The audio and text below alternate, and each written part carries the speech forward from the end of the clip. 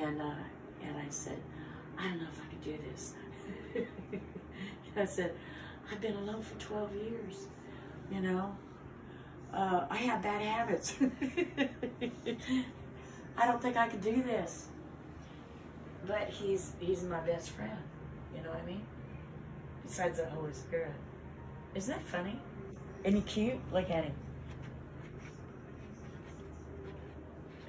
He's like a lion.